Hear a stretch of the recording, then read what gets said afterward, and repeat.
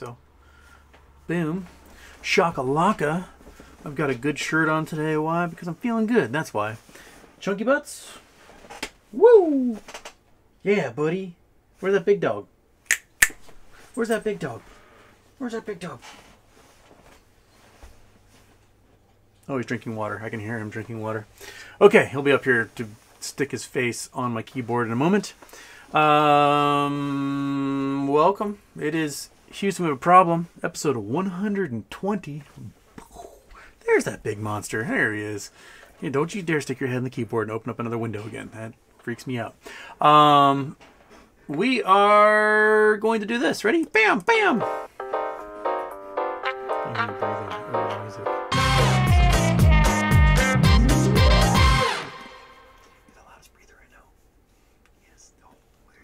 Oh, hey. All right. So, uh, just before we went live, or just after I uh, tippy tapped the um, uh, description for the show, uh, the SEC released a warning basically telling broker, broker dealers to uh, hold their margin close, assess risk.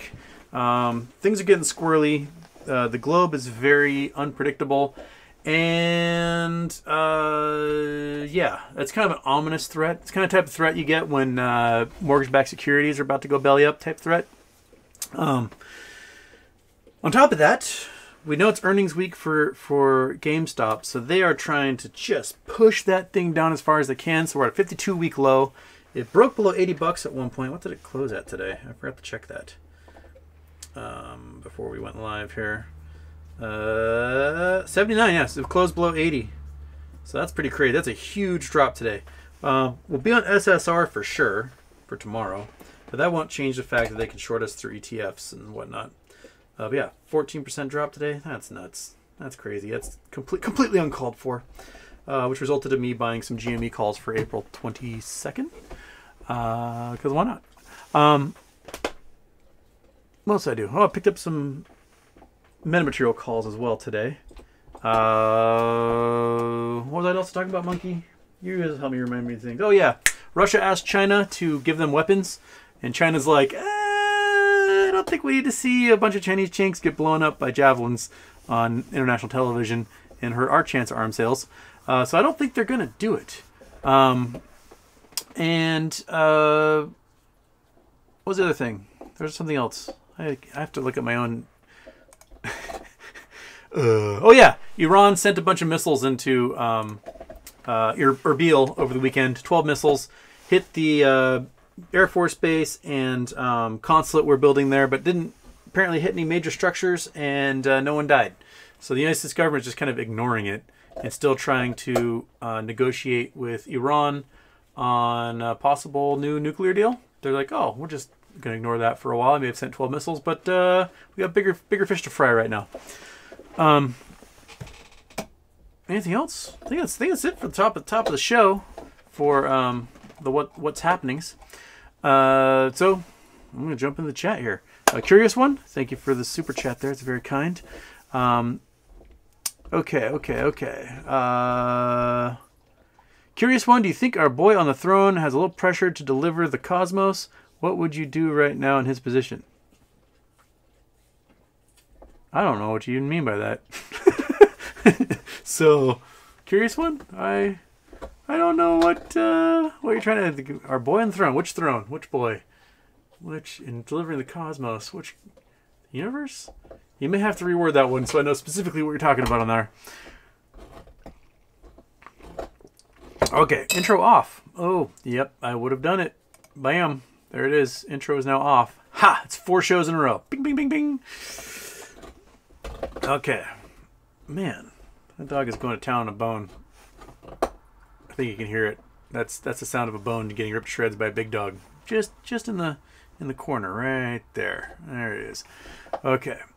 Uh, Bill Coin, Lou says if it doesn't squeeze this month, it never will. Charlie on Discord says it's, it's uh, going to be 2023, but he presents links, data. I'm not smart enough to know who actually knows that. I don't think anyone knows. Uh, that's the thing, is that uh, it's like that quote in Revelations no one will know the time or day. Um, I, no one knows. We can all speculate as to what the reasons will be, but when when will that shit actually hit the fan? I can't predict that. Uh, we're about to have by the first couple weeks of April, 120 billion and change in Russian bonds go tits up. Um, by the 23rd of this month, Evergrande will miss 2 point whatever billion dollars in bond payments. Uh, other Chinese companies, another probably 10, 20 billion in bonds that will, will that will default as well. Payments that will then will go through.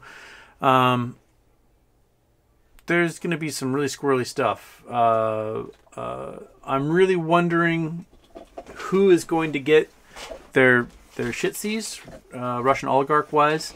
Uh, a lot of those oligarchs. I mean, think think about the type of pressure this is. If you're an oligarch and you you have a known net worth of like a billion dollars, but then they seize like 30, 40, 50 billion dollars in offshore assets that you hid in various accounts around the world, and like, ha, you actually had 30 billion dollars.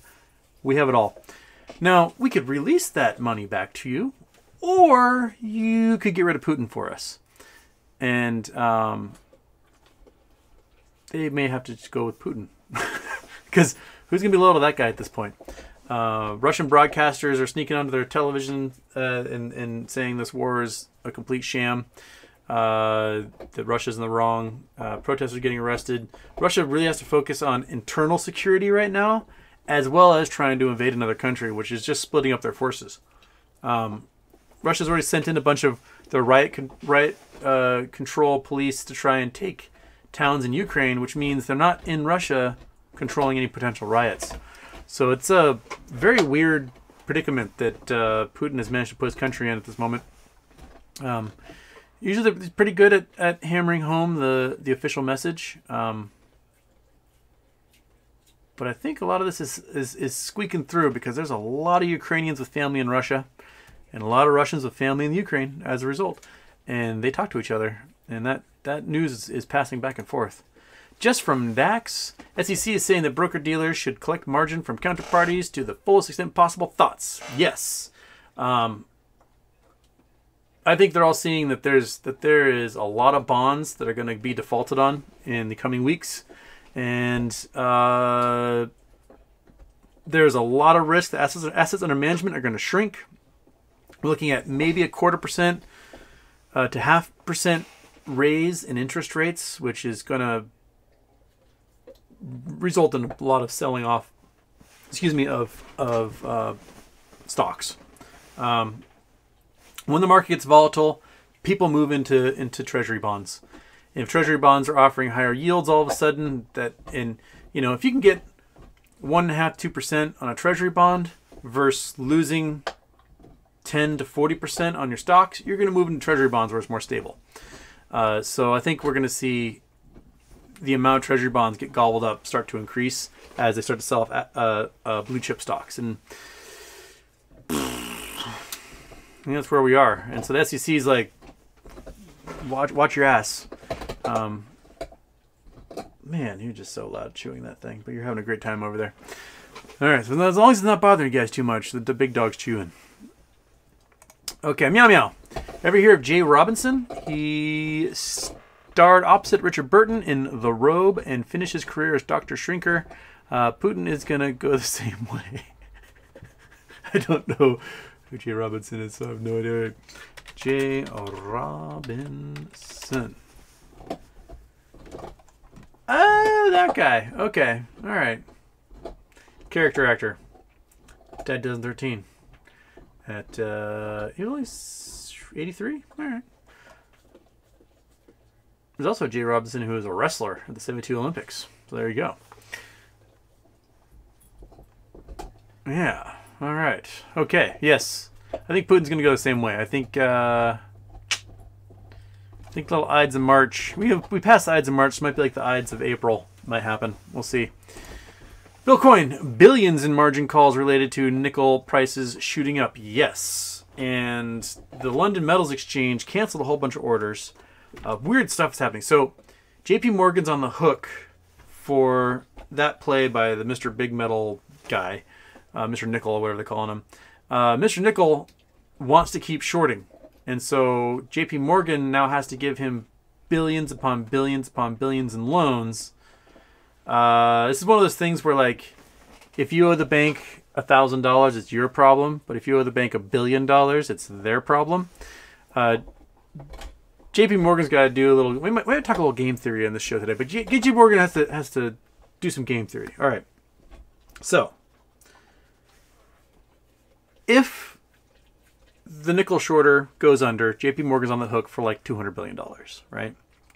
If JP Morgan gives them billions in loans to stay afloat and they keep shorting and it goes tits up, they're on the hook for 200 billion plus whatever they did in loans, right?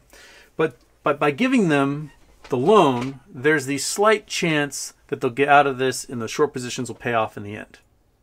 So they're betting that the short positions will pay off in the end. Uh, that might happen if we go into a full scale global recession. Once we go into full scale scale global recession, consumer product sales plummet, value of base metals drop. So copper, zinc, uh, nickel, those all those all go way down. Now, if that's what JP Morgan's thinking, they may pull out by giving the the Mr. Nickel guy loans, and it, it may work out in the end because if they short correctly, in the long run, they'll make a bunch of money back.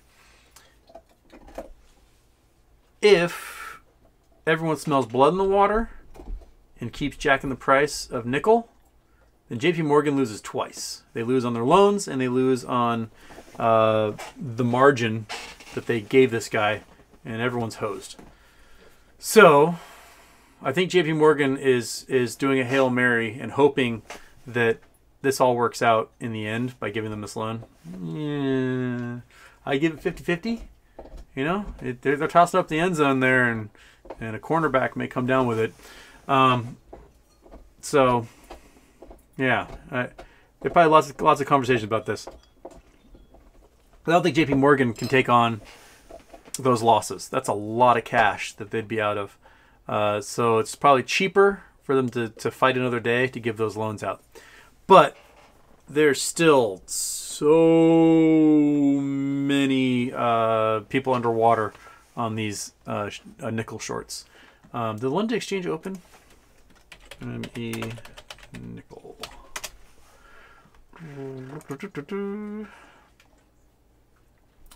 So it's nope, still suspended. Still suspended. All right. But the price is still at almost 50 grand. Um, yeah. Hmm. But yeah, London, London Metal Exchange is not opened yet. What's Chicago? Chicago.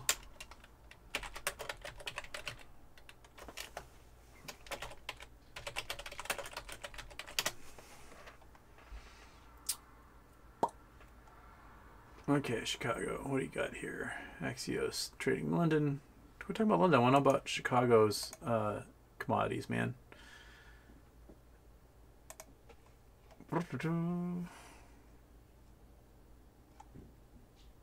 Well, that's just showing the scrap prices that have gone through the roof. Yeah, scrap prices are up 50% on uh, both copper and nickel. That makes sense. Okay. Did I miss anything there? I don't think I did. All right. Um.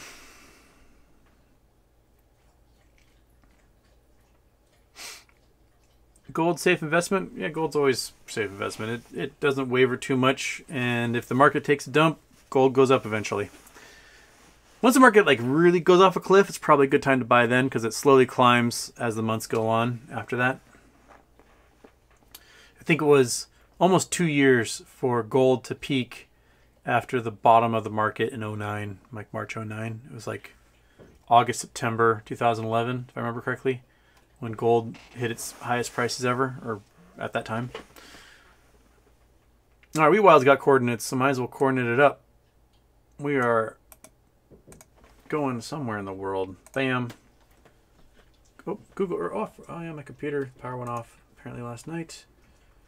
Open Google Earth. Go, go, go, go, go. There it is. It's coming. I got giant hangnails bothering me. Bam. Boom, boom, boom. Where are we going? We're going... Whoop. to a tabletop in the middle of the Atlantic, in the middle of the Mediterranean. What is this thing? Yep, got a plateau. That looks very much like a, uh, uh, a, a butte. Okay. What are you?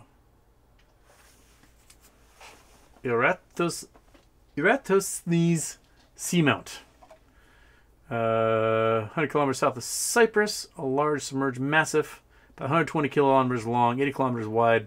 Peak lies at depth of 690 meters and rises 2,000 meters above the surrounding seafloor. Yes, Eratosthenes abyssal abyssal plain. So this was basically a mountain six million years ago. So there's a big mountain sitting up here. There's Cyprus. Uh, six million years ago, the Straits of Gibraltar were closed off, right here. And this whole Mediterranean was a big, giant, dry, salty desert. And uh, about six million years ago, there's a big crack in the rocks, and all this water rushed in and flooded the entire thing. So whatever little mountain was right here got covered. And now it's just a little seamount out in the middle of the Mediterranean, just being an underwater hill. There you go. Back to Big Houston. No intro. Suck it, losers. Okay.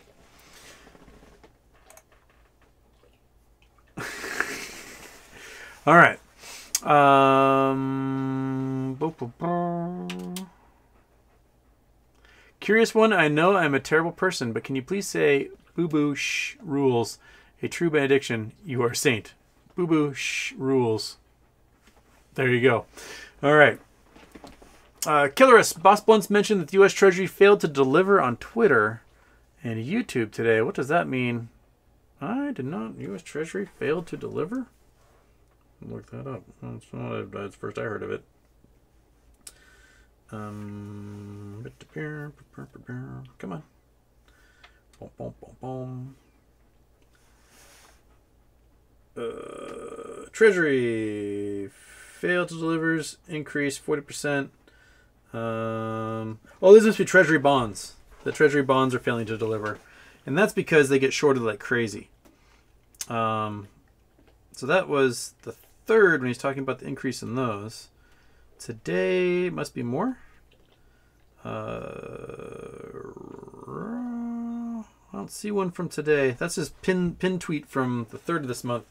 Um, so there was a article in Rolling Stone, probably 2010, 2011, and about basically the everything short. They're shorting everything, and uh, one of the things to talk about was around 250 billion dollars a year back then in U.S. Treasury bonds being shorted, and uh, basically they're, they're creating naked Treasury bonds and selling them just like they do naked everything else and so they're they're shorting the U.S. government essentially, uh, hoping that later they can find bonds for cheaper. Now, if interest rates rise, those bonds become worth more because people are going to be jumping into those bonds in a volatile market. Uh, so there may be a lot of folks who also lose a shit ton of money trying to short treasury bonds. Citadel, Citadel. Um, so, oh, I just realized my microphone got really far away. Hmm, I'll put that back in there. Sorry, maybe maybe I'm sounding better now. Um, and uh, those guys who short those treasury bonds might be in for a big surprise here. They may they may they may get squeezed, and we may see bond prices go go bonkers as a result. Okay, Peter Joy. Yes, looks like the market did shit the bed today, at least for meme stocks for sure. I mean, Although there's a graphic someone a couple people sent me today showing um oh, see if I can find it. I don't big dog. You just got you're breathing all over me. Okay, let's go to there. Let's go to there. We gotta turn off that, turn on this. Uh, bam. Okay, that's the one we want. And then what was it? Um, MMTLP. Uh, what do they call it?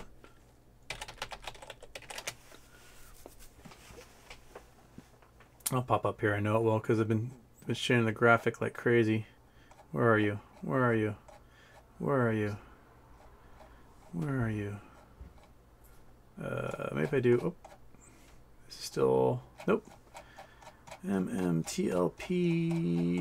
What are you going to be for me? MMTLP calculated?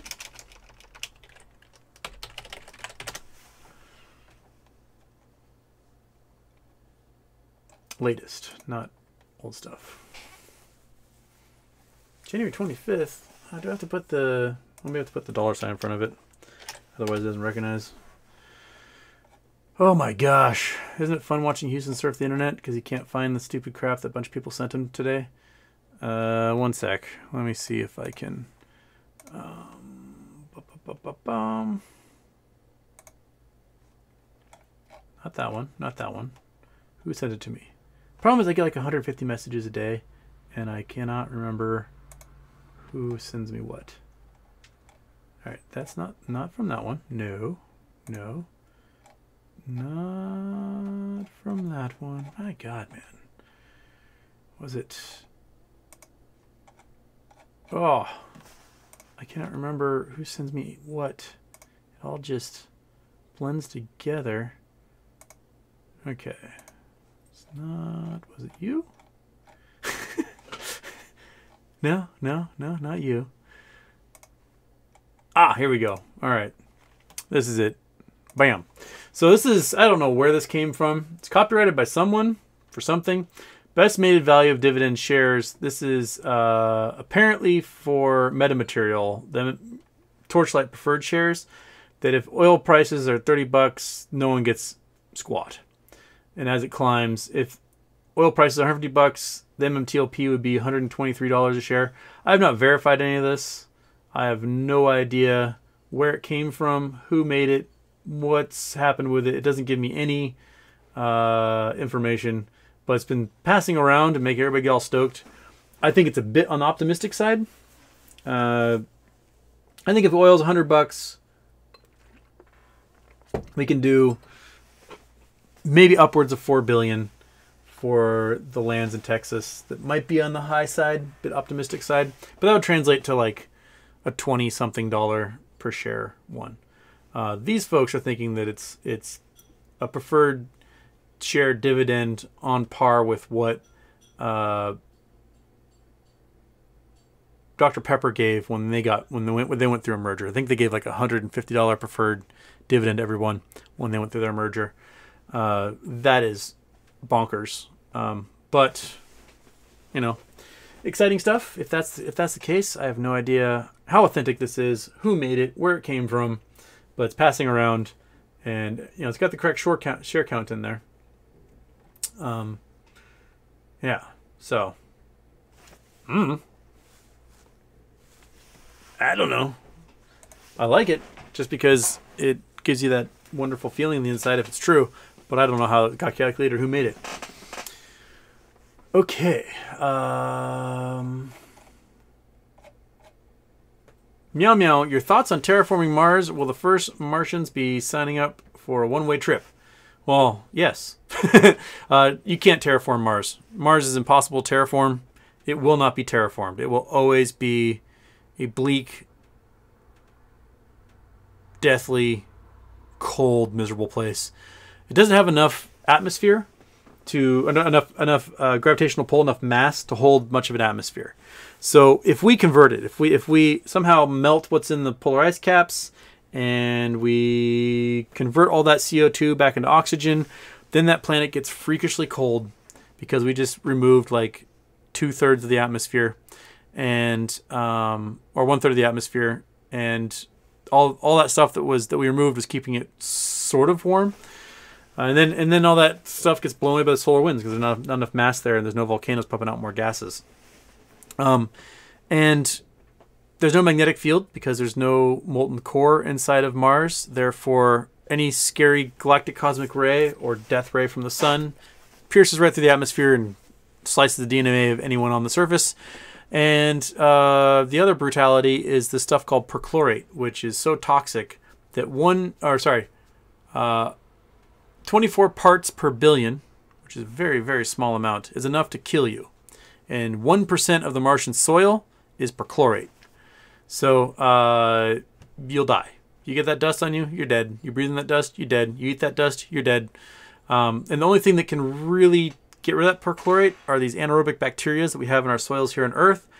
But those anaerobic bacteria, uh, it's too cold for them to do anything on the Martian surface, so they would be useless. Um, we could probably try and dump them all over the surface, but it's too cold there at the moment for them. They'll just be frozen. Um, and they won't be able to convert those perchlorates back into chlorides that we can uh, are safe for us. And yeah, I think going to Mars is silly. It's just going to kill you, and there's nothing to mine there, so there's no money in it. Uh, you know, it's cool to be like, I went to Mars.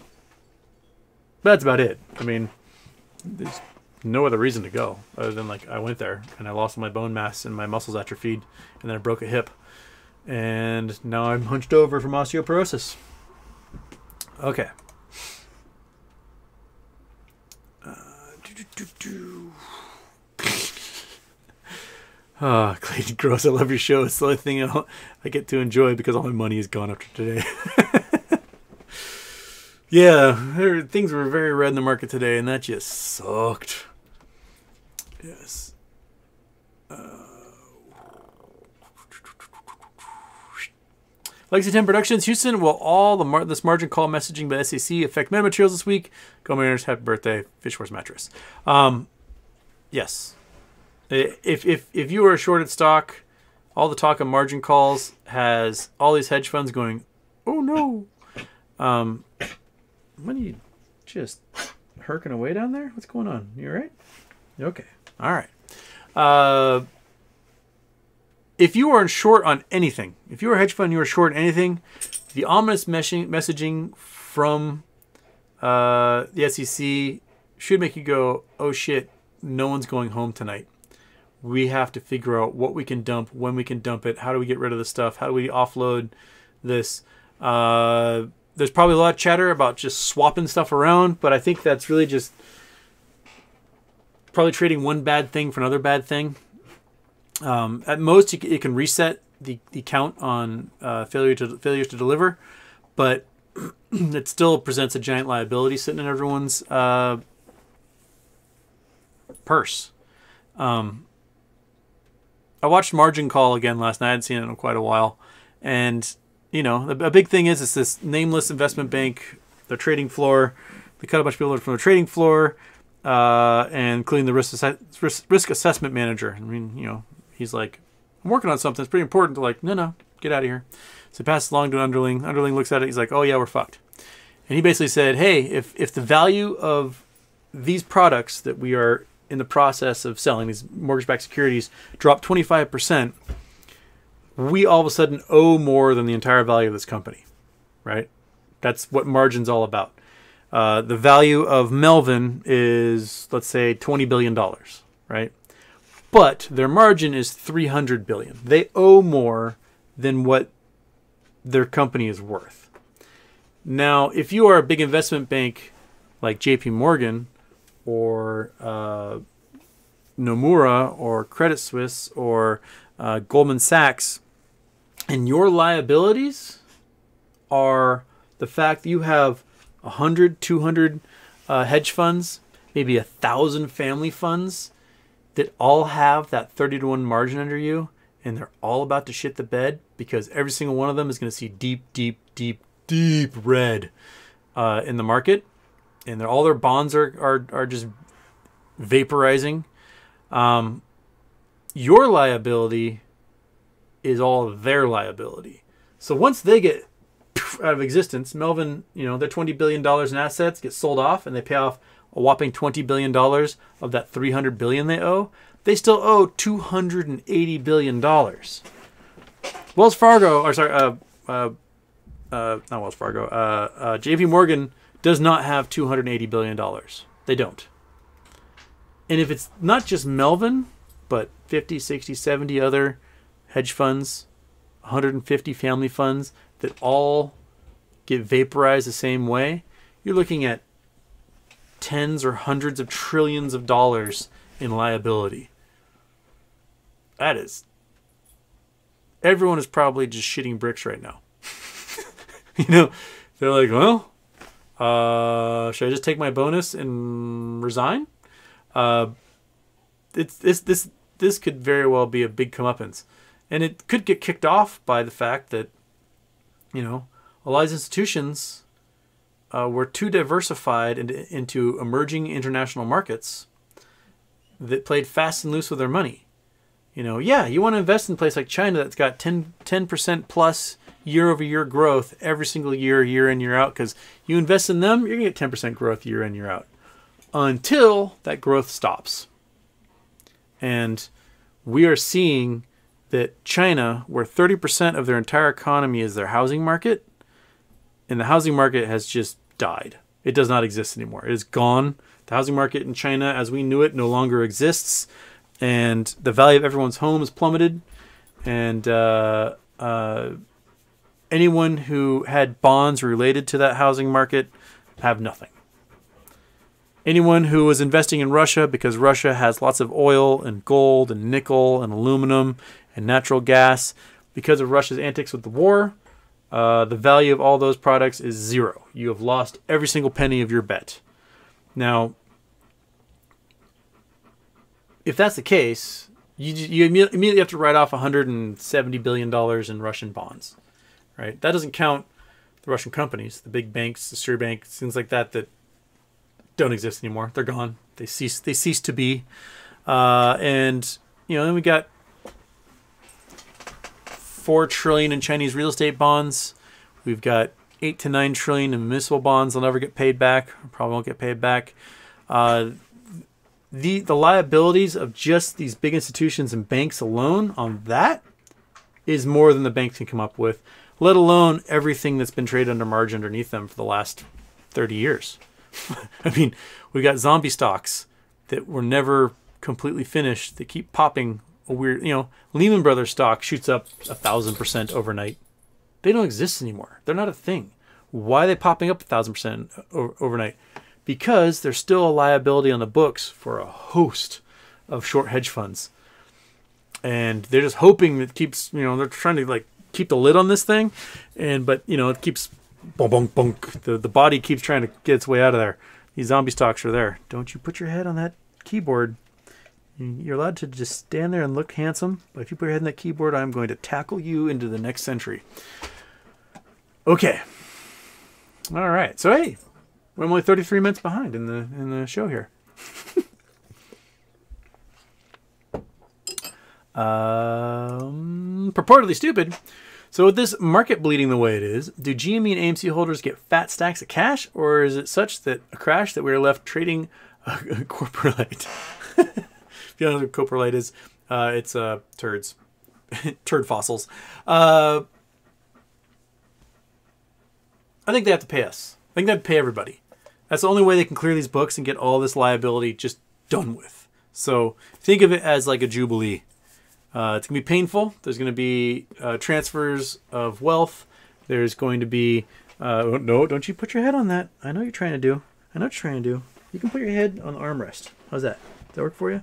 Uh, but there's there's going to be banks that cease to exist, small banks that become powerful, uh, certain institutions that will no longer be a thing, other institutions that that that you know become household names in the next decade as a result of these things and a whole bunch of folks that are in this movement that are going to be freakishly rich and wield crazy amounts of power suddenly.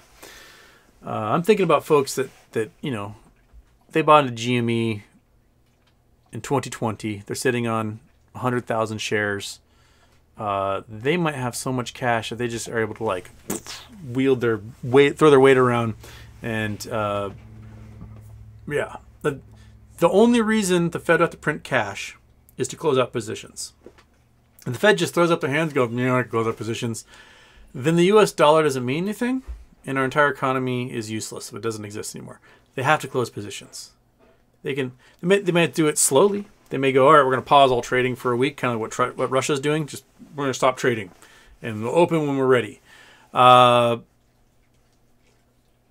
but all that will do is scare away future investment in the markets.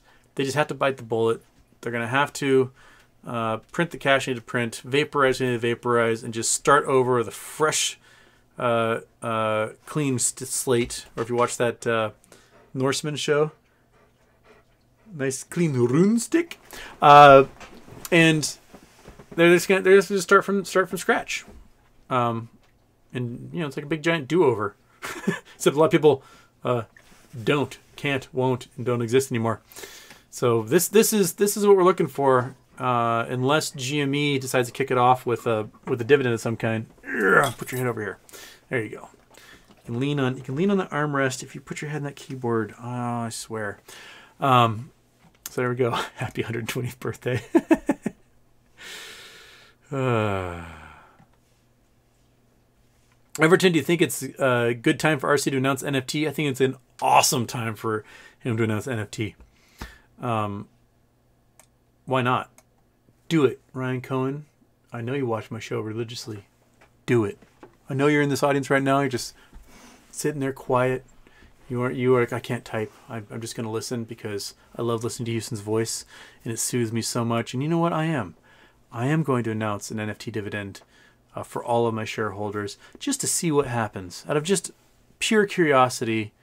And they deserve it. They've invested in this company. They've they've held strong. They believe in what I'm doing, and I am going to uh, let them all have a cute little uh, McDonald's Happy Meal toy in the form of an NFT dividend. That's what he's going to do, right? Right? Right, Ryan? Right? You are. Yes, you are. See, even Big Dog thinks so. Big Dog even put his head down the floor so he would stop messing with my uh, my keyboard. He's fantastic. Okay.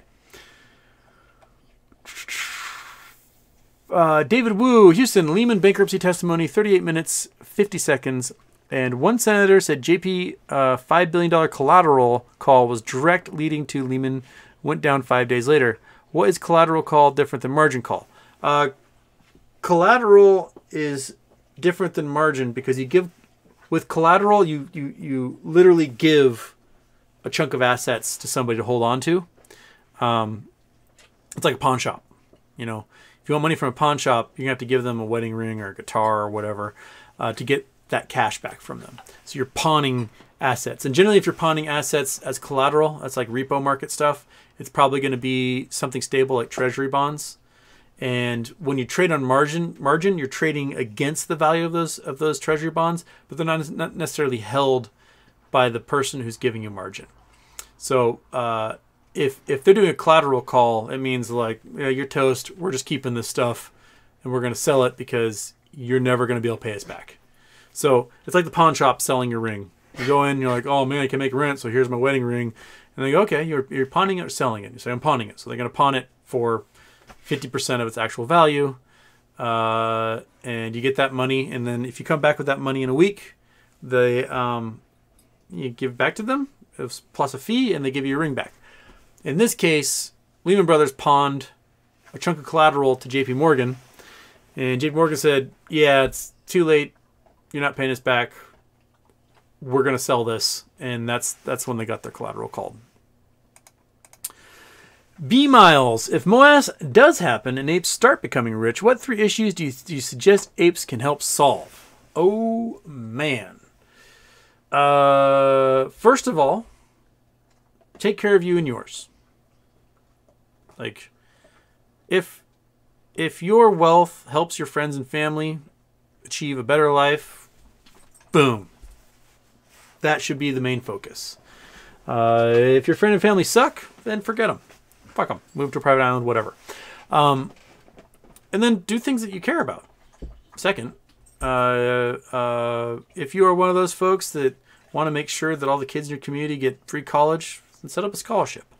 Uh, you know, invest in invest in your community where your heart is, and you really can't go wrong with that. Like I would love if I had enough money to make the baseball field at my high school actually good. It's been a terrible field that everyone like snaps ankles on constantly, and you you know go feel a grounder and it hits you in the head because it's bouncing off gravel and crap. Um, I would love to professionalize that field. That would be near and dear to my heart, and that that wouldn't necessarily like improve everyone's lives, but at least it would like quell this thing in my brain for the last 20 years, which is this baseball field sucks and someone needs to do a better job. Um, you know, if if I I would like to use my wealth to lobby Congress into doing the right thing on stuff. You know, big dog, big dog, big dog. Hey, don't chew on that cable. That cable is the only one that recharges the headphones. There you go. Okay, um, and uh, uh, you know, fight fire with fire. I guess. Like, I'm not one of those people that foresee myself if I get wealthy to be like, I must get more. I really am a big fan of beaches and uh, hammocks and going skiing. So I'm probably going to be focusing on that. Uh, but I would like everyone else to have an opportunity that I don't have, right? Um, I see like like somebody makes hundred million dollars in their life, and they still are working like eight hour eighty hours a week. And they're just like mm, more. I want more. And they're working and they're working and they're working and they're ignoring their friends and family and working working accumulating more and more and more and more. Think about if they just stepped away and went you know what? I have more than i'll ever need. I have a life that can be incredibly enjoyed by everyone whoever had this much wealth and i could just step away and somebody else could come into this position and also amass a wealth that they could step away from we just need to know when to like call it quits, man. right? Like you don't need 300 billion dollars. No one needs 300 billion dollars. Why are you trying to make it a trillion dollars? It's just bonkers. Like chill the fuck out. Go enjoy a beach. I don't know. It's just, man, just take her easy. Let somebody else, you know, come in have the opportunity to uh, take over and be an entrepreneur or whatever. It's just uh, it's very it's very weird to me that there's so many people who once they've achieved such great vast amounts of wealth they just keep going. It's like man take a load off. Like what's the point what's the point of having all this if you just don't chill out? I don't know. I don't know um, Deck P, what's the play with uh, RC and Bed Bath and Beyond? Also, love the shirt. It's a good shirt today. It's one of my favorite shirts. Cat's tails reeds out in the out in a swamp somewhere. Um, I think what RC is doing is he is cookie cutter stamping, right? He went to to he he, he did Chewy because Chewy was an online retailer that was able to address the needs of folks with pets maybe something isn't uh, necessarily a need now, but they can get toys or dog treats or whatever on a regular basis without having to go to the store, just like Amazon or any other online retailer. And what they what he did with GameStop is he went in, took a big chunk of GameStop, and he's trying to reshape the business from not just being a brick and mortar like a pet store is, uh, but also providing an online experience and then moving into completely new markets like Gmerica and branding branded products and um, selling things outside of regular like game consoles and games, but also computer parts and podcasting equipment and uh, uh, figurines and toys. And so they, they're able to expand that market from just a $200 billion a year game market into tabletop games, into uh, collectibles, into um, uh, tech, and uh, uh, become an online retailer. And so what you can also do is you can take that model of brick and mortar plus internet and go to Bed Bath & Beyond, which is brick and mortar with kind of weak internet. And you can you can now move Bed Bath & Beyond into a competitor with Overstock, with Amazon, with uh, Wayfair, and those things. So um, I think that's what he's doing. He's like, okay, I can take the same model I had and I can re- replicate it here. Now, he has no interest in being on the board at Bed Bath & Beyond, but I have no doubt he'll put a proxy on the board, or two, or three, or whatever. He'll clean house of the hedge fund goons that are currently working on the board at Bed Bath & Beyond, and then um, he'll he'll change the entire nature of the company, and you know, and because he isn't an insider, he will be able to, if this price skyrockets, like all the meme stocks go bonkers, he'll be able to sell that crap and have tons of cash, unlike the GameStop stock he has now. So it's his way of probably generating just a huge pile of cash should he need it. uh, in the future to kind of do the same thing. Uh, I think he's kind of the opposite of a vulture capitalist, one of those corporate raiders, those Bain Capital guys that would see someone like Bed Bath & Beyond and go, yes, we're going to do a leverage buyout. We're going to take over that entire company and we're going to over leverage them to the, to the hilt, give ourselves billions of dollars bonuses, and watch them just die in bankruptcy. He's going, I can take this company, I can change its entire culture, I can make it worth a fortune, and then I can do it another one. So he's like the the flip side of that. Rather than murdering them, he's like, you know, Prince Charming coming in and rescuing them. Uh, that's my that's that's if I climb inside his brain, that's what I think he's doing. Okay. Uh, da-da. Alex Park, Houston, does the NFT? Oh shit, just reset. I was reading Alex Park's question, and Alex Park is uh,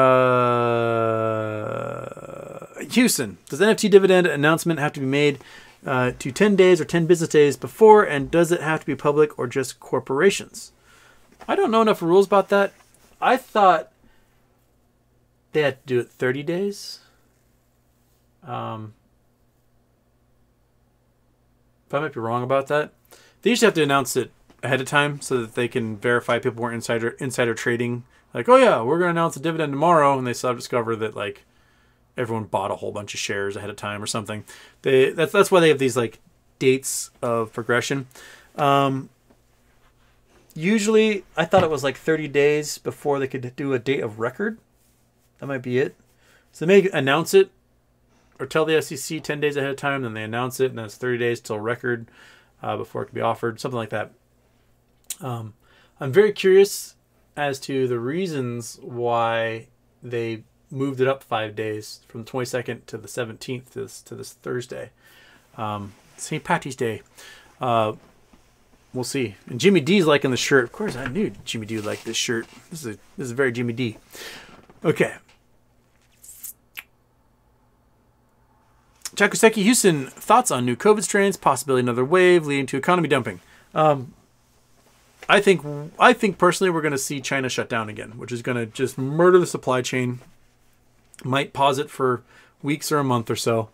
Uh, they're shutting down some really big cities. Shanghai is starting to shut down. All their schools are closed. Shenzhen um, is completely closed. Uh, they kicked all the tourists out of Beijing. Um, I think Omicron and BA2 uh, are starting to just hit places that manage to avoid infection really hard.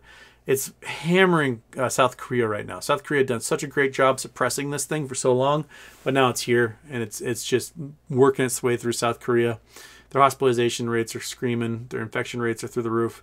Uh, Asia's getting hit really hard, and now we're seeing BA2 starting to spike in Europe.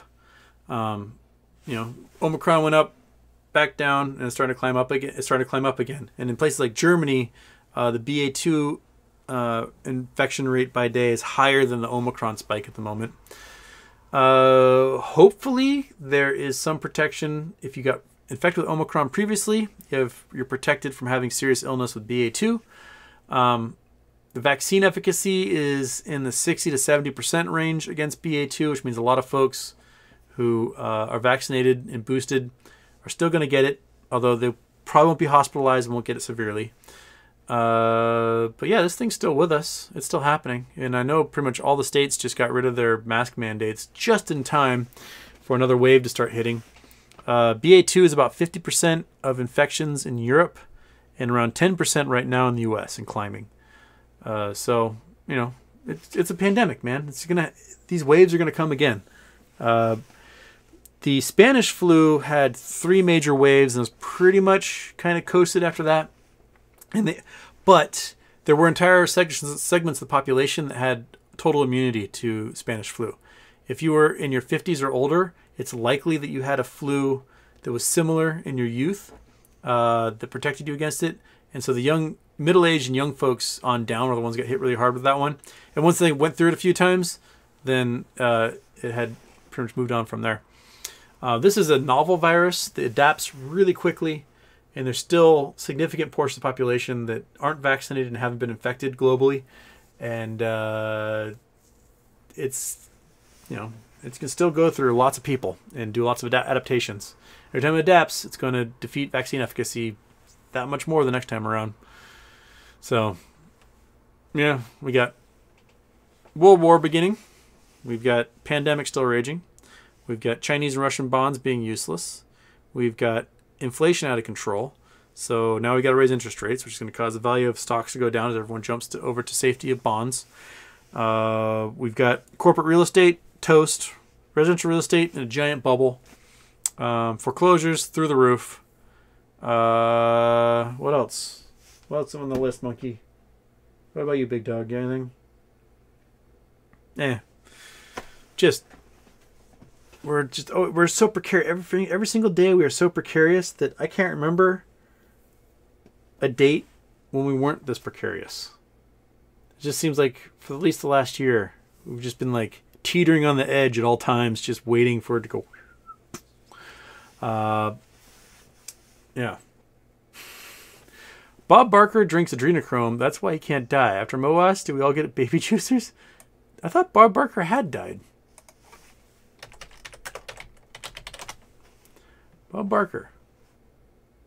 Uh, didn't he? Didn't he die? I guess no, he's 98. He's still alive. Holy crap! So he must be drinking adrenochrome. He's 98 years old. He's doing all right. I thought he died like four or five years ago.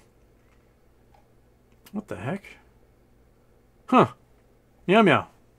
I learned something new. I thought he died like years ago, but he just disappeared from my thoughts apparently. Huh. How about that? What? He's from Washington State? He's from Darrington? No way. Huh. Up in the Sauk and Stillaguamish. That's like, you know, you get some gold up there, Darrington. Yeah, 0530 goes through there. How about that? Huh. Well, there you go, Bob Barker. Still alive, still kicking. Way to go, buddy. I did not know that. Okay. Baby users. uh, yeah, might, might want to get baby juicer. Invest, invest in baby juicers there, meow meow. That way you can live forever on a hammock on the beach. Okay, fried taters in, in Hawaii saying aloha, aloha, buddy. Angelo Torrenos, uh, thoughts on Bloomberg terminal screenshot uh, talking about margin calls. Oh, I, th I think I covered that already. Yeah, I think we're going to be facing a lot of people having to find some liquidity in a hurry. Uh, they may have made a bunch uh, on puts on some stuff today, so they might they might have gotten some cash together. Uh, if you had a if you had puts on GameStop, you probably made a thousand dollars off every single solitary one of those puts today. So why not? What the heck is going on with AMC? Uh, it's getting hammered just like everything else. I mean, almost all the meme stocks. Let me go to my meme stock list on my phone here. Uh, yeah, Red Dead across the board. Any of them green? Uh, Benry's Capital is doing its weird thing still. Uh, Nokia is green. Nokia is the only one green on my list. So, there you go. Nokia jumped up like 4% pre-market and just stayed there uh, all day. Um, the banks were doing really green today, which except for Goldman Sachs. But yeah, most part either the blue chips were red or just slightly, just ever so slightly in the green zone. Uh, Bitcoin is screaming right now. Bitcoin shot up like two percent in the last few minutes, and now it's falling back down again. um, yeah, but again, like VIX up a little bit, SPY down a little bit, uh, um, I just got a notification that, that I now have a wallet in Robinhood.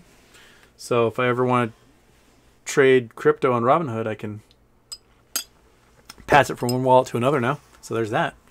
So I guess if those, if, if any of you happen to still be trading in Robinhood, uh, if MOASS hits, you can rather than doing your fifty thousand dollars a day, you can just buy a bunch of Bitcoin with it, send it to wherever you want. Boom, you're out of Robinhood. Done. One way to get through it. So I guess I guess if you want to get out of Robinhood in a hurry right now, if you're still stuck in there and you can't you can't uh, uh, move your wealth out of there or anything, you could probably just sell your shit, put into Bitcoin, send it to another wallet, and just wash your hands of the whole thing. Either it's the dumbest thing Robinhood ever did or the smartest thing they ever did. Not sure. We'll find out. Um, Ham Fingers Houston, do you see house prices coming down anytime soon? If the market shits the bed, yes, house prices will come down, especially if interest rates go up. It's going to be harder for folks to uh, get loans for fancier homes. Uh, there'll be a lot more smaller loans given out, which is going to reduce the number of people that are doing crazy offers on places. I mean, where I live right now, the average home price is well above a million. Uh, a friend of mine uh, just put a two bedroom townhouse up. He's a real estate agent for 925 and it sold in cash bidding for 1.3 million for a two bedroom 800 square foot condo. That is stupid. it's, you know, yeah, sure, $10,000 a month mortgage on a condo. Uh, to 800 square foot condo. Like that's about two thirds larger than this room I'm in right now. Bill Coin, good advice. After MOASS, don't buy anything. Wait, keep your freaking mouth shut as you will be doing put a target in your back. Yep, that's true. Um, for a lot of you, if you win on this, it might be a good idea to just disappear for a while. Just like close up everything and just disappear for a while. Go where no one knows who you are, hang out for a bit, let the dust settle, and then maybe make a re- reappearance after you've evaluated everything. There's a there's a lot of you who live in communities where this kind of wealth is rare, and a lot of them, a lot of people around you might be tweakers, and you may not want to put a, a target on your back. Just, just, just, just go, just go to Monaco and live in a hotel for a few months before you figure things out. Why not? You can afford it. Do that for a while. Hang out with other rich people, where you will look like you're standing up because you're in Podunk, you know, East Bumfuck USA, and uh, that's probably good. Good, good, good advice, Bill Coin. Space Monkey, hi Houston, happy birthday. And I hope your mom is doing well. I just got to log on, so if you can do a recap of what I missed, that'd be great. Uh, Russia is begging China for stuff. The SEC has basically said, mm, check your margin. A lot of risk out there. Global economy is going, eh. Uh, Chinese bonds are worthless. Russian bonds are worthless. Uh, GameStop and other meme stocks are getting shorted to shit ahead of the GameStop earnings on Friday.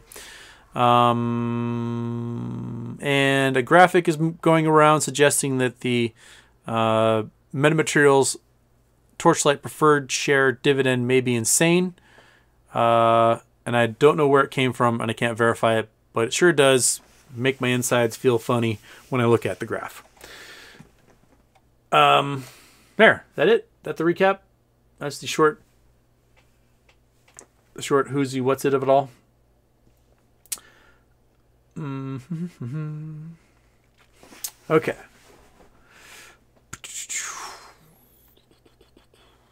Uh, okay. Oh yeah, and then there's this giant cyber attack going on in Israel right now. Um, so apparently Israel took some sort of action against Iran. Uh, Israel also about 10, 12 hours ago said uh, we will back sanctions against Russia. And now Israel's under a giant cyber attack from both of them. I don't know. So a lot of government websites down. We'll see. We'll see where that goes from there. Okay. Paratarian thoughts on the likelihood of Russia abandons the American ISS. That would be a terrible move. Oh, you're doing the. I want to go under a blanket stare. Okay, one sec. She wants to go under a blanket. Um, that would be a terrible move on the Russians' part. It'd be a dick move, first of all, but also it'd be an act of war. Uh, it would be the equivalent of like the U.S. government shooting a Russian diplomat in the head. Like, you don't, you don't do that. Diplomats have a certain status, and we respect that status as a, as a norm among sovereign states, regardless of whatever war or actions are happening, and diplomatic immunity exists for a reason. Um, so, leaving a U.S. Uh, member of the ISS behind and not following the 1967 Outer Space Treaty would be treated like an act of war. and that would trigger uh, uh, NATO, the prime directive of NATO. Which, I mean, okay, let's let's get into some game theory here again. Okay, so Putin is losing. He is losing on every front right now, and is about to become a uh, uh, a vassal of the Chinese superstate. Um, they can't do any trade with anyone. Their military equipment is aged and unmaintained and getting just evaporated and stolen by tractors. Uh, they aren't making any headway. Their soldiers have low morale and aren't paid dick. They're running out of munitions, running out of fuel, running out of food. And so if if if it were conventional warfare between Russia and NATO, Russia would get wiped off the map. We can see it already that Russia does not have the morale or or ability to take on any NATO nation, um, simply because they can't even handle a non-NATO nation at this point. So this means Putin has to up the tragedy of it all. He's got to make things worse than they were, um, and he's got to push forward in a way that he can somehow save face. I guess. Uh, uh, I mean, if he pulls back now, then, he has, then he's admitted defeat and he's lost a huge chunk of the Russian economy to which is weapon sales to other other nations. And you know, who wants to buy a five million dollar tank when a twenty thousand dollar javelin does more damage, right? So the tanks are just becoming coffins at this point for a lot of those soldiers and getting bogged down in the mud. And it just it is not the best sales call or sales promo for any of these weapons.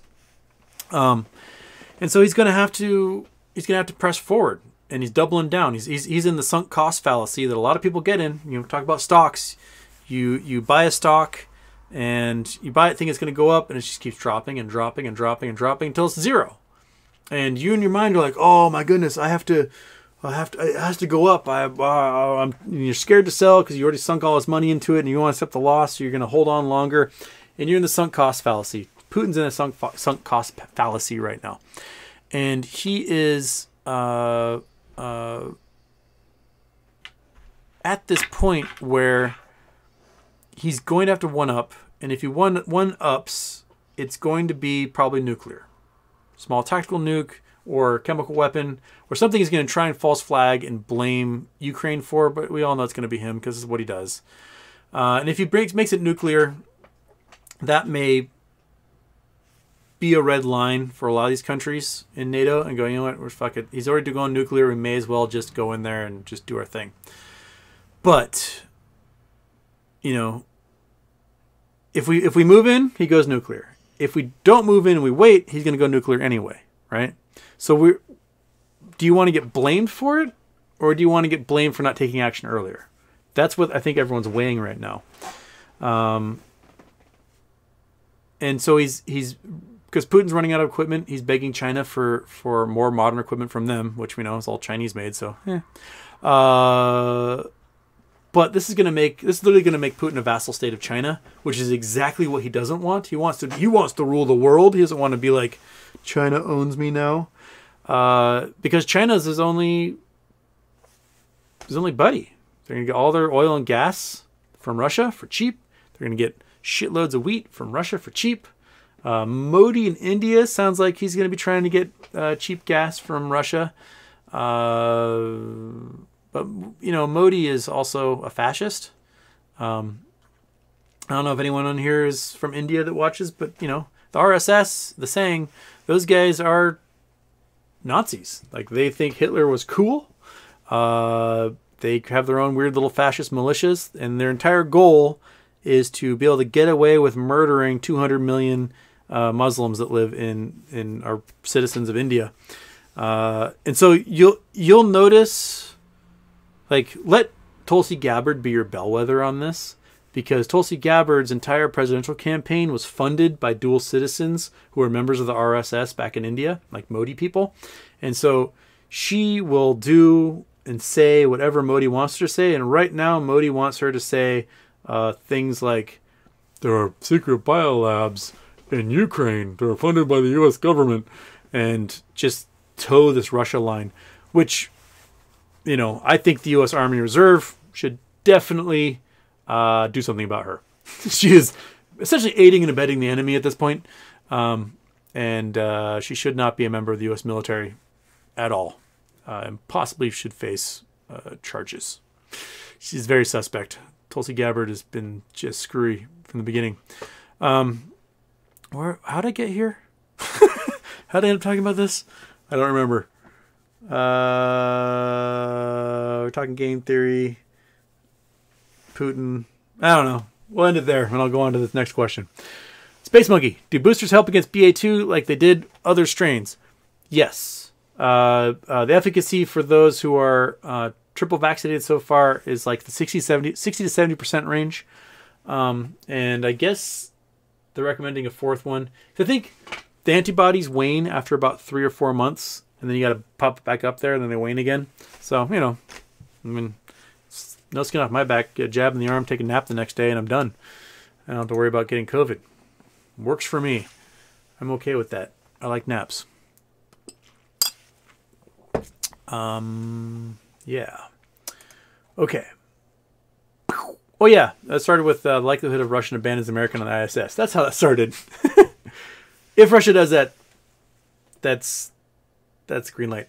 Also, another thing, like Russia is inviting Belarus to attack Ukraine, uh, bringing in Chechens, uh, bringing in um, um, Syrians, bringing in uh, uh the Wagner Group uh, mercenaries, and yet if Ukraine invites somebody to come fight for them, that's no go. You can't do that. Um, I think it would be smart of Biden and, the, and NATO to say, hey, if Russia can invite people to invade Ukraine, Ukraine should be able to invite people to help Ukraine. So, Ukraine, who would you like to invite to the party? And um, yeah, I, it, we may have to get to a point where we just call Putin's bluff.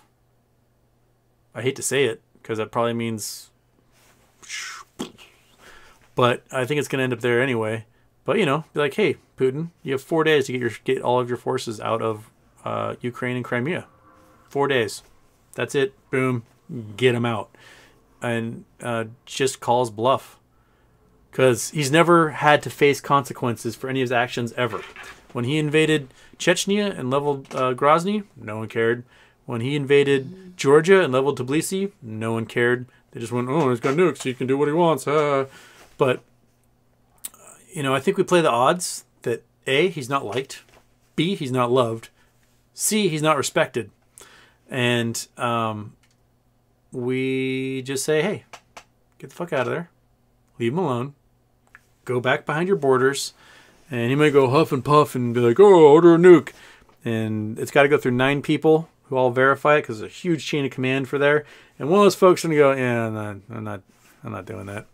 Um, or if it makes it there and they press that button, there's a 30 year old uh, rocket, 50 year old rocket that no one's checked the O rings on in that time. And, you know, the fuel line sprays everywhere and it blows up in the silo and wipes out an entire legion of nukes. Uh, I know it's really morbid to talk about, but Putin is going to do something heinous because he's losing, and he's got a one up, and that's just how assholes work. You guys, have, you guys have all dealt with assholes. They will, they will keep pushing the boundaries until someone just bronk puts them in their place, and then all of a sudden they're like in this box like a mime, and they won't leave that box for a long time. And I think, uh, I think Putin, Putin has like been stretching his arms and legs too much. He needs to be like put back into a box. Otherwise, it is going to spread. He's going to go from Moldova, and then he's going to take, you know, he's going to move into non-NATO countries, maybe Armenia. You know, it's just it's just going to keep going. Um, okay. Uh,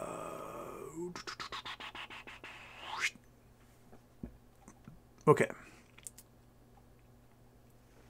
Um, I am. Oh, I'm an hour behind now in the chat. Well, screw. We'll, we'll skip ahead because a lot of those questions are the same thing over and over again.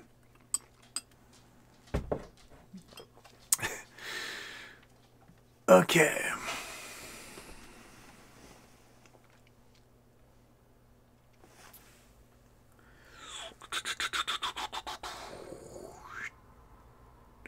Sherry Batista, what's the strangest thing that ever happened with a student? Oh man, been some weird ones. Uh, I had a student who, you know, he he had a, a disabilities waiver, so he was allowed certain compensations for uh, stuff in class, and he was allowed um, extra time on on doing a test, and like a quiet space to do that test. I was like, okay, that's fine, and it was on the computer, like this is math class where all the stuff on the computer is awful to teach because teaching math on a computer is just the stupidest thing. And they gave him this concession, and then I discovered he was cheating. He was like using that time, quiet time by himself, to like have Wolfram Alpha do all the math for him. And so I was like, "Hey, you're cheating. Uh, you can't do that.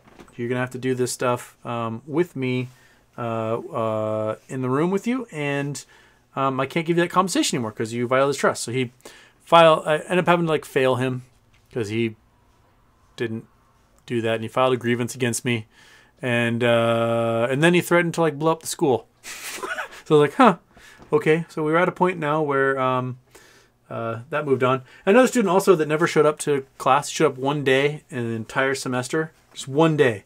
Showed up for one quiz on one day, never did any homework, never did any other quizzes, never took the final, didn't do anything, and he you know got like, like a C or a B minus on that one quiz, and I had to fail him.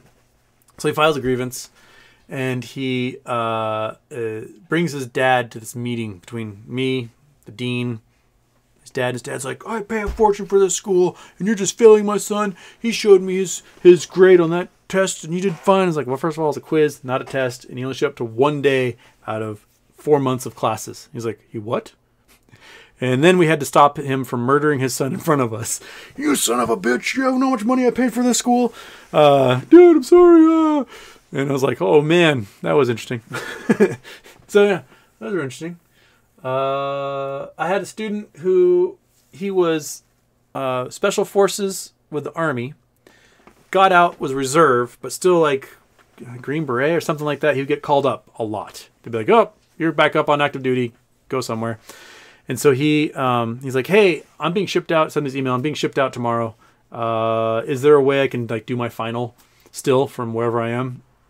And it turns out, you know, he was like three o'clock in the morning for him, and uh, uh, he did his final on uh, not Zoom. What was the other one? The one that Microsoft bought that used to people used to all the time. Skype. Did his final on Skype at like three o'clock in the morning in the Philippines because he was in some sort of like bushland war with Islamic terrorists in the Philippines, and like would do his test hold it up to the camera. I'd take a screenshot of it and grade it, and he'd do the next one, hold up to the camera. It was odd. But I mean, more power to him, man. Getting his education, doing it while he's like in a tent on a satellite phone in the middle of the jungle. Like, good job. Okay. Um, Lexington Productions, Houston, are you still considering HYG puts anymore? Not financial advice. Uh, I mean, eh, I might not try to play weeklies with them. I might go for something longer out. I kept trying to do weeklies because I kept thinking things were gonna like dump that week, and everyone's predictions were always wrong. So uh, if I do puts on SPY or HYG, it's gonna be a little bit further out. Yes, they're more expensive that way, but um, gives you more time for the ups and downs of the market to be like, yeah, panic sell. Oh, I made a hundred dollars or whatever. Uh, so if I if I play those things, it's going to be a little bit further out and not necessarily weeklies. Um,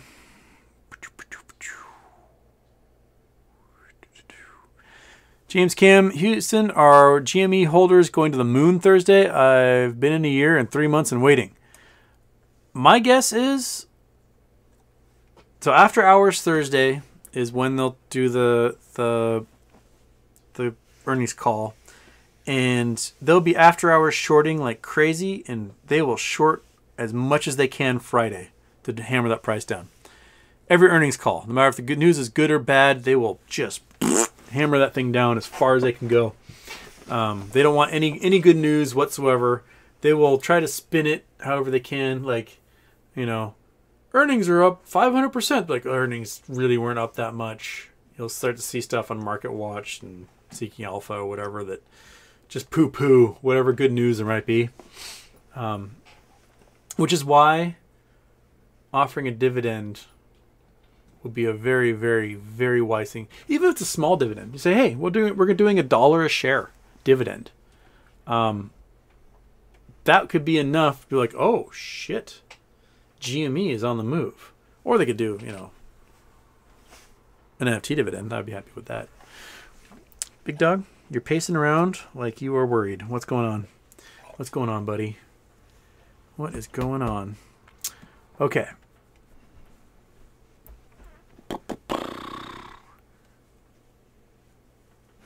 Project Sun, if you're looking for a decent sci-fi-ish show, check out Severance. Never heard of it, but I'll check it out. Um,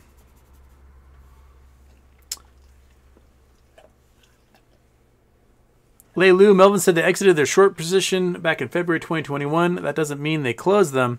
I believe someone else took the bag and it's still out there. Your thoughts, Houston? I think that's exactly what they did. I think if anything, Melvin uh, is just masking their holdings. They didn't close shit.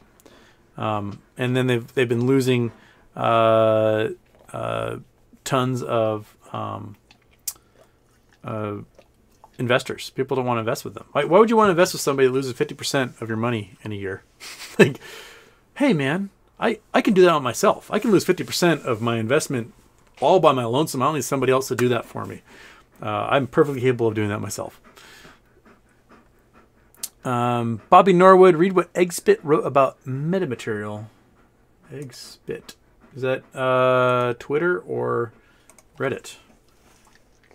Because I don't know which one that is. It's a big dog. I can't type with you constantly moving my arm around. Eggspit. Uh, must be on Reddit.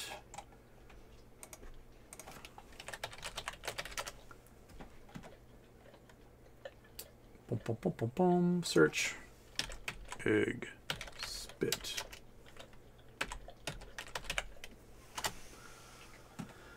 Uh, I got a UX bit, probably. You, bing. Bing. Nah, nothing popping up. You have to send it to me. Bobby, send it to me. DM it to me on Twitter. I'll, I'll read whatever they got there. Um, I'll check that out. Okay.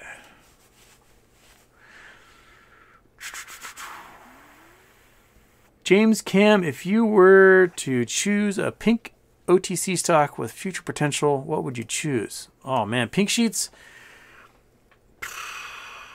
Pink sheets are pink sheets for a reason. It's because the company basically ceases to exist anymore. Uh, but if I were to choose something out the pink sheets, I would choose something that perhaps went there in 2008, 2009, 2010. That's a zombie. Um, not financial advice. I'm not a financial advisor. But those zombie stocks have had crazy explosions in value that go from like one thousandth of a cent to five thousandths of a cent. You can, you can five x your money playing with those things as long as you get out eventually, right? Um, yeah, that's uh, that's the way I look at it. Playing with pink sheets, always understand that that that you either will double your money or lose everything. That's kind of how it rolls.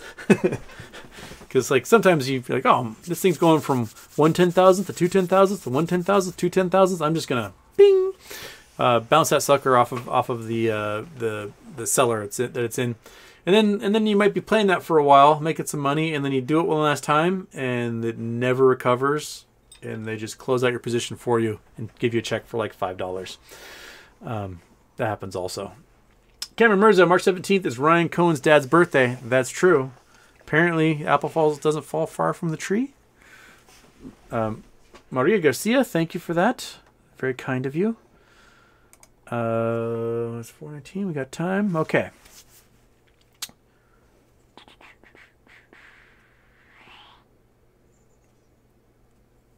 Na, na, na, na, na, na.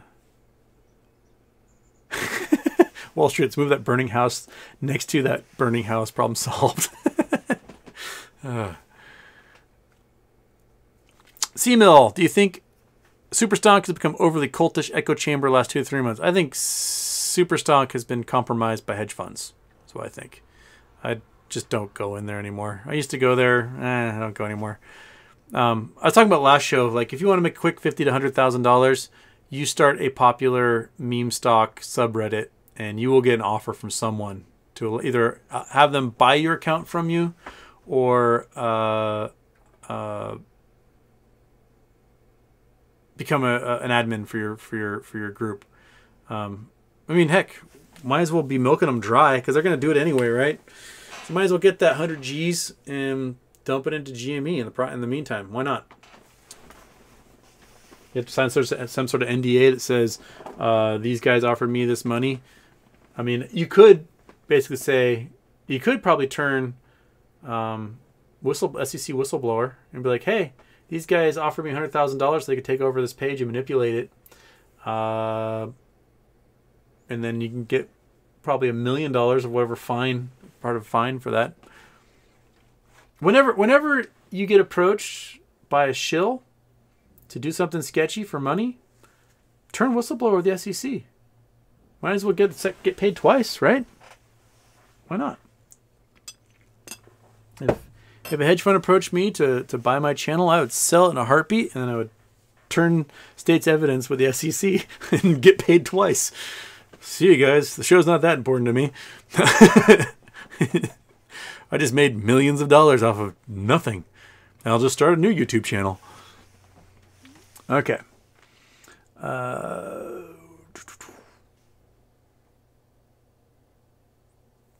Javel Clay, happy birthday, Houston, was the worst case scenario for MMTLP.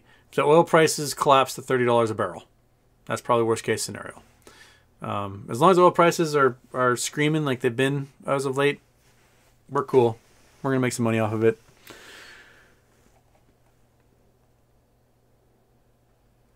Um,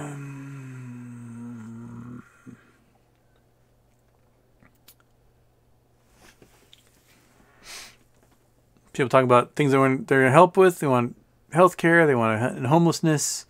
They want to help animal shelters, financial class for high schoolers. Yeah. James Caan, Snog, Marry, Avoid, Plotkin, Ken Griffin, Dave Portnoy. Ugh. Ooh. Um, man. Uh, I'm just gonna avoid Portnoy because I don't think I could be in a room with that guy. Um, I'm gonna snog Plotkin and then take the money out of his wallet. I'll marry Ken Griffin simply because uh, uh, I'm gonna get something out of that divorce. How's that? Does that work for you, James? Yeah, that's an awful one to think about.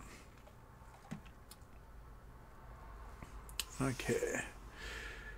Oh, and of course the chat reset, and of course I am now. Eh, well, we are stuck a ways behind. We're not forced to go in the middle of the chat here. Okay. Uh, so now I'm only like 40 minutes behind again. So that, there we go. So if I missed you from like 3:20 p.m. to 3:40 p.m., I'm sorry. You're gone now. You don't exist anymore. Okay.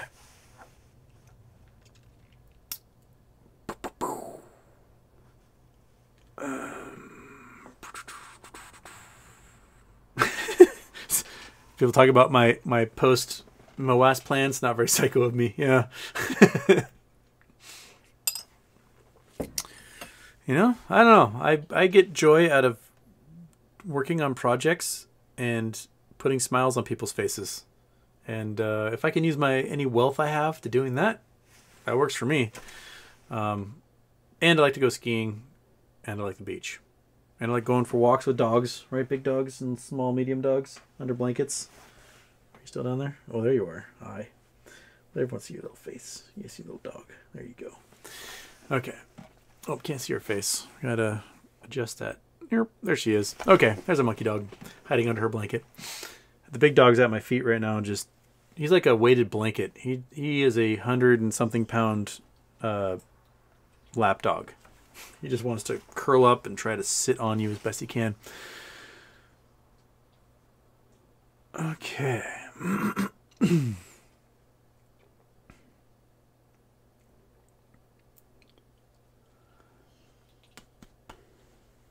Project Sun, the hope is RC is putting big pressure on the meme baskets. If he exercises options, we'll own over 10%. Yeah, it's true. Exercise, exercise them options, man. Uh, um, I hope I'm not butchering your name, Kira, I think it is. Um, Houston, what would a market crash or correction mean for MOASS potential? Wouldn't hedgies make tons of money from puts and such, and GME value would decrease, equal increased margin for hedgies? Not necessarily.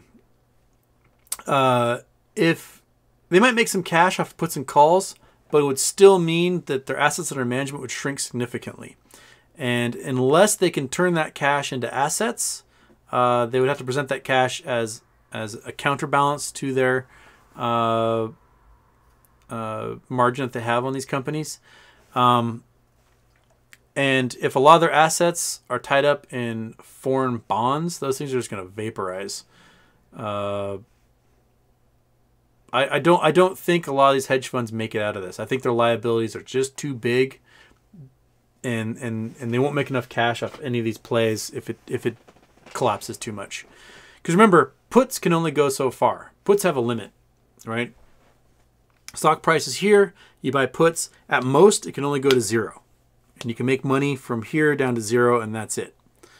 Now, your liabilities, on the other hand, the sky is the limit so your puts may have a price that drops to zero and you make, you know, whatever thousands of dollars off each one of those puts. Good for you. But if there is forced buying of one of these uh, uh, uh, meme stocks and the price climbs beyond what the value was on those puts, then you just have infinite liability all of a sudden. Uh, and that's that's the name of the game is that there's infinite risk on shorting a stock. And they are going to assume that risk at some point. Okay.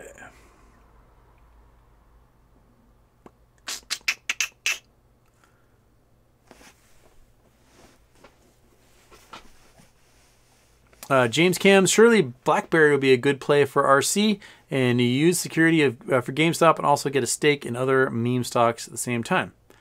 I mean, why not?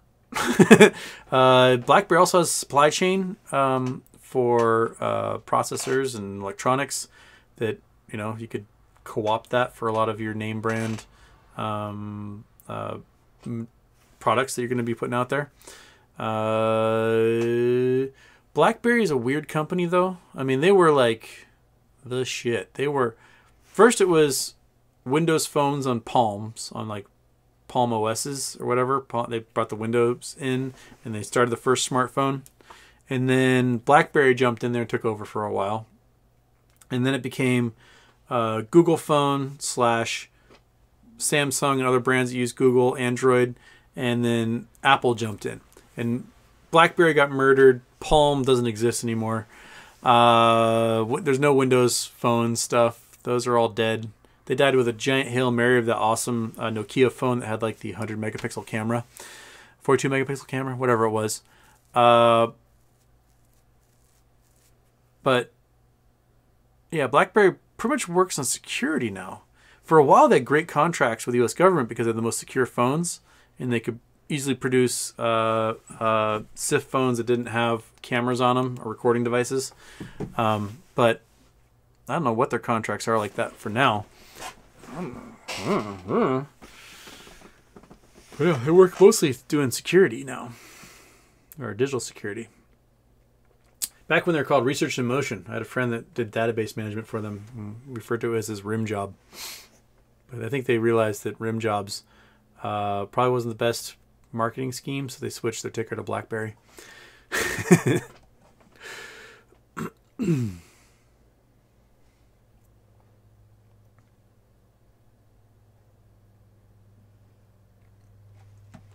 Jethro Houston MMTLP divvy talked up to 20 plus dollars.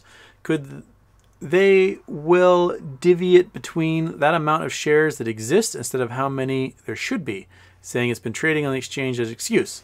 Uh, they will send it to the number of shares that should exist that are not synthetic. And then if there are any synthetic shares out there of MMTLP, that money is going to be the responsibility of whoever shorted that stock, whoever created that synthetic.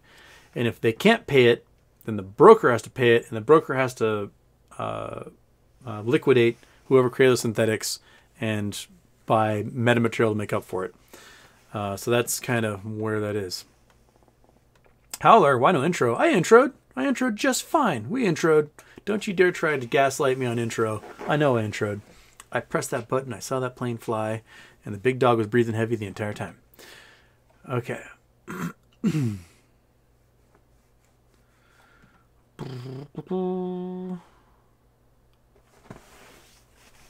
JM, as intelligent as you are, I'm very surprised you bought into the pandemic's crap. JM, shut the fuck up.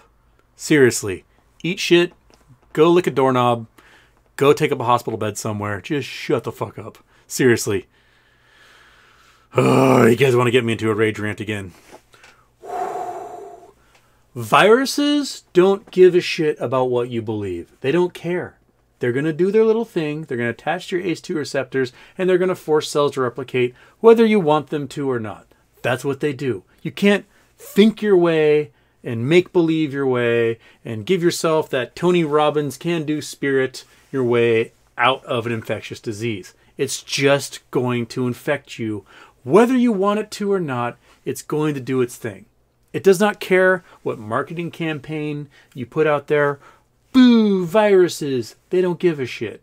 They're going to do what they do, and that's what they do. You can't PR campaign your way out of this. You can't make believe it. You can't, you know, positive thinking. If you read The Secret and you and you you envision and you make a vision board about no pandemics, the virus doesn't give a shit. You have to do actual physical real things to mitigate the virus, and that is wear a mask, wash surfaces in your hands, stay away from people when you can, and get vaccinated. That's it. That's all the options you have. Otherwise, you're going to get it. And if you get it, you have a 1 in 30%, 1 in 30 chance of dying, and a 1 in 3 chance of being permanently disabled by it. Uh, so you can't protect yourself from COVID by getting COVID. You just can't. And I know you guys are going to get me on this stupid rage again. I'm going to try and simmer down and just. Uh, but JM, shut the fuck up. Okay, there we go. Um. All right. Uh, moving on, letting the rage simmer move, just push back down again. Okay, that's the cure question. Squamps need a bubble pipe. Get uh, what's the Wolf Hunter hat or whatever they're called? A bubble pipe like Sherlock. Um, do, do, do, do,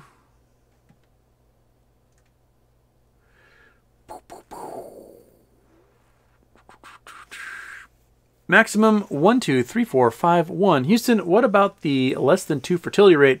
South Korea is at 0.8 per couple. Western world's at 1.5 or something. Just add to the list. Yes, we are not replacing ourselves. Why? Because we can't afford to. Uh, everyone has got massive amounts of college debt, home debt, credit card debt. Uh, their jobs aren't paying enough. Inflation, you know, diseases, uh, global warming. People just aren't having kids. Why? Because they don't need to have kids.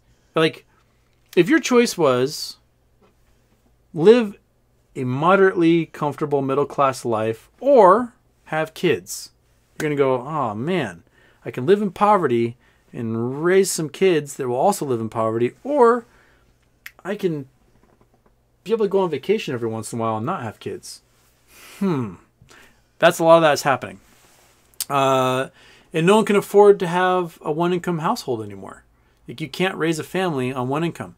In the 1970s, my dad made $10,000 a year as an architect, was able to buy a home in Sullivan's Island, South Carolina, and raise a family on $10,000 a year. A family of five at $10,000 a year, right? A home in Sullivan's Island sells for $2 million now. Uh, if you want to raise a family there, you're going to have to make $400,000 a year to do it.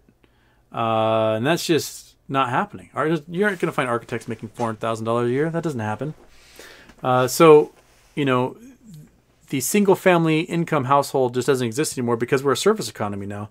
And service economy requires so many people to work as sandwich subway sandwich artists uh, that we just can't we can't have people not work. So we need everybody working. The problem is that we're not producing enough workers anymore. So how do you get enough workers? Immigration. That's how you do it. But we're a very xenophobic country, so we don't allow enough immigrants anymore. So then we complain about they're not the restaurant being closed because not enough workers, uh, because we don't have enough workers because we we treat them like garbage when they try to get them to come to the country and work. Um, so we we were really like just butting heads. There's there's our needs, and our we're keeping our needs from being fulfilled because we're really xenophobic. Um, but yeah, Japan's population is shrinking. Korea's population is shrinking. Italy's population is shrinking. All these all these first world nations are seeing their population shrink, and then there's population explosions in the developing world because uh, we sent a bunch of missionaries there take away their condoms, don't teach them about sex ed, and they produced nine million kids. Um, and then their then their countries get overridden with with uh, uh, very youth heavy populations, and those youth don't have jobs in their nations because they don't make anything, and uh, then they want to go somewhere to a first world nation and make stuff, but we won't let them in, even though we need them. Uh, it's a very weird, very weird situation we're in there. Uh, Citadel saying you're still pumping GME and AMC with the Trum OS.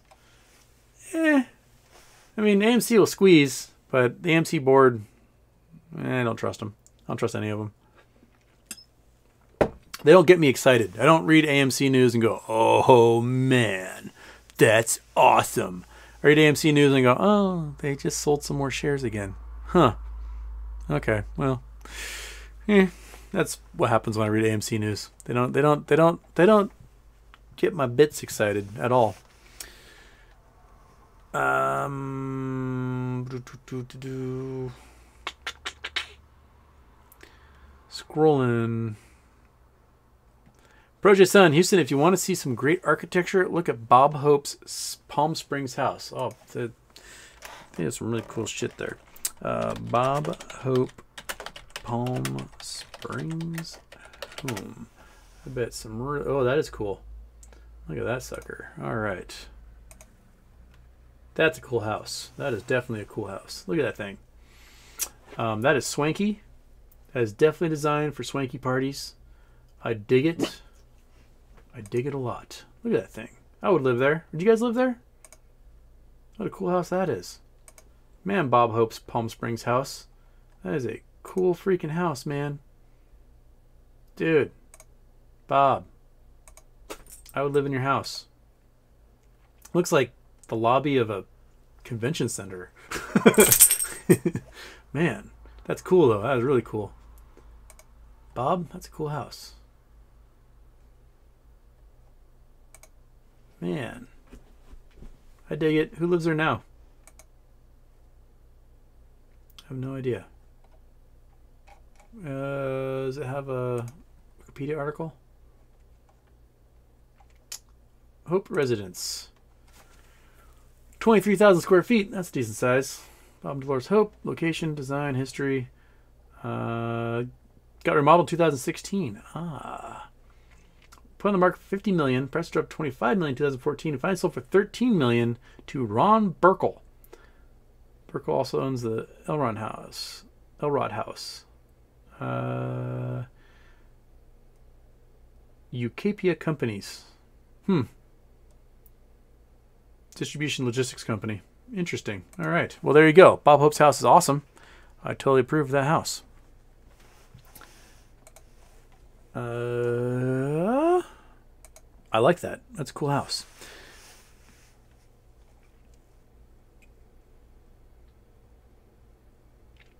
Clean me up, Sky. I thought we were all going to Ape Fest. Well, we can go to Ape Fest.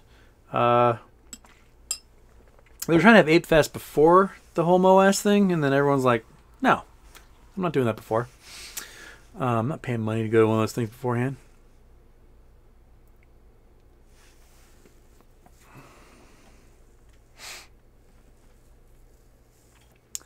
Uh, Ghost of Unidan. There you go. Not bad. You got a new place? Fantastic. Good for you. Um, Kevin Turner, any opinion on the CAT system for going fully online July 11th? I thought the CAT system already gone online. Someone sent me a thing saying, no, no, no, it's only online for certain aspects of the economy. Uh, I mean, hopefully it changes some stuff, but I don't know if it's going to really change much.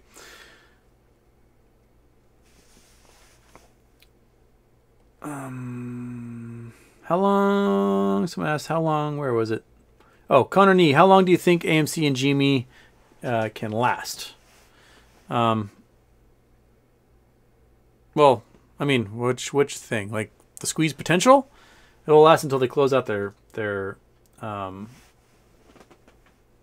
you know, it, it'll last until they close out their positions. That's that's how it goes, man. That's it. Like once they close out positions, then it's over. And uh, we MOASS and we're doing well. Citadel, you should talk AMC board like Cohen and Friends didn't tank GME lifers in July 2021, and price has not reached those levels ever since. Uh, GME hasn't sold any, hasn't dumped any stock beyond their. They took them three months to sell a couple million shares, uh, and then they made enough cash that they are now in the money. I don't know what you're talking about. Uh, they have no debt.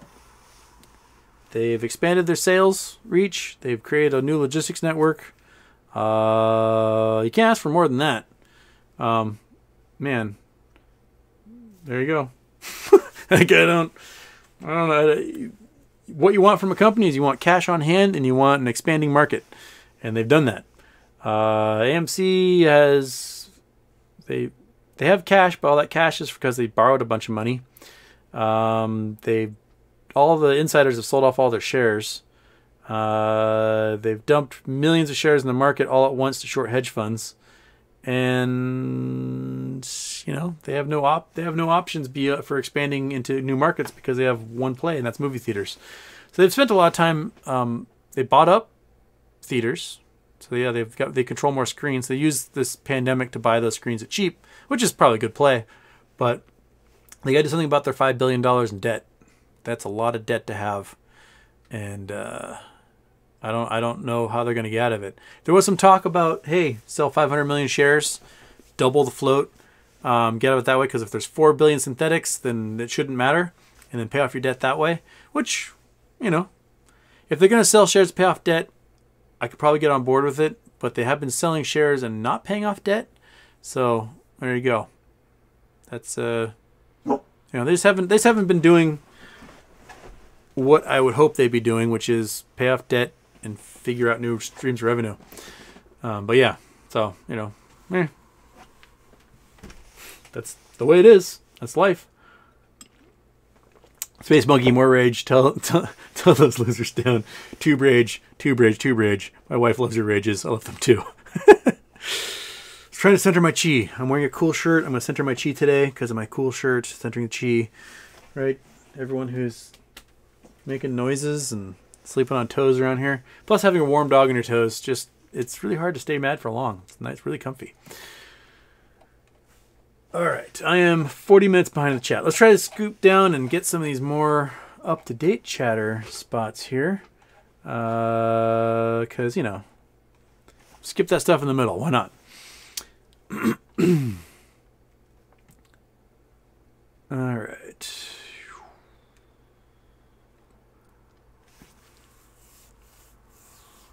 Uh, Eurojunk, Houston, do you think the invasion of Ukraine will escalate beyond Ukraine? Will China decide to take Taiwan? Uh, when will NATO get more involved? Oh, man. Okay. Will it move beyond Ukraine? Yes, it most definitely will.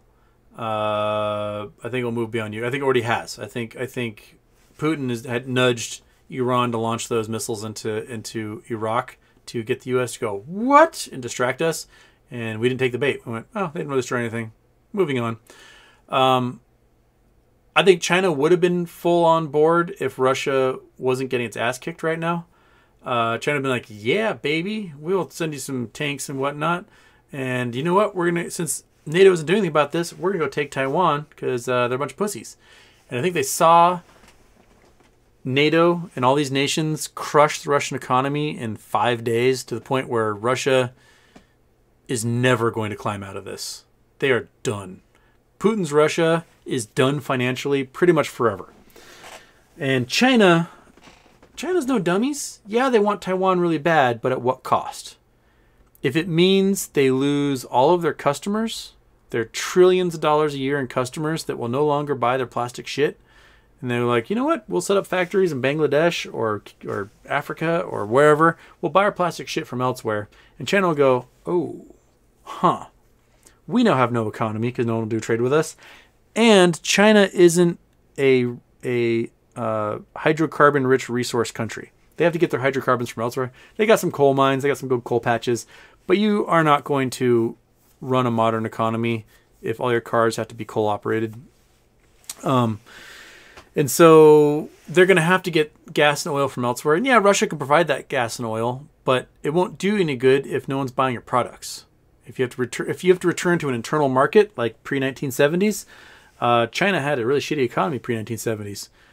Um, they require they need U.S. dollars and euros. They import those U.S. dollars and euros, and they send their plastic shit out from there. Uh, a lot of electronics manufacturing is run by a Taiwanese company, Foxconn, and if Foxconn destroys their tooling or moves their tooling elsewhere, then there goes a huge chunk of their GDP that's dependent upon making cell phones and TV and, and computers and motherboards and whatnot. So uh, I think China's really weighing these options. They're going, huh. First of all, Russia's getting its ass kicked really badly with really cheap weapons. Uh, so if we give them our tanks and our tanks get destroyed as well, then we lose a bunch of tanks. So, and it would be a terrible advertisement for our weapon sales in the future. So they may they may go, huh? We might we might not want to give Russia that stuff. Plus, but on the other hand, you know, Russia as a vassal state of China would be a huge pump to the ego for the Chinese uh, politicos. Um, then it would be completely demoralizing to see like Putin like bow lowly to his new Chinese overlords, which is exa- the exact opposite of what he's trying to do, which is become a global hegemony himself and make make Russia a superpower once again. And in you know three short weeks, he's completely destroyed any possibility of that. That is really interesting to like think about. Um, yeah. So, hmm. But yeah, NATO may get involved more directly. Uh, I wouldn't doubt if we see NATO do things inside Belarus first. Uh, because Belarus is pissing everyone off in Europe as it is. Uh, Lukashenko is an asshole, and he lost an election, and uh, shouldn't be leading Belarus.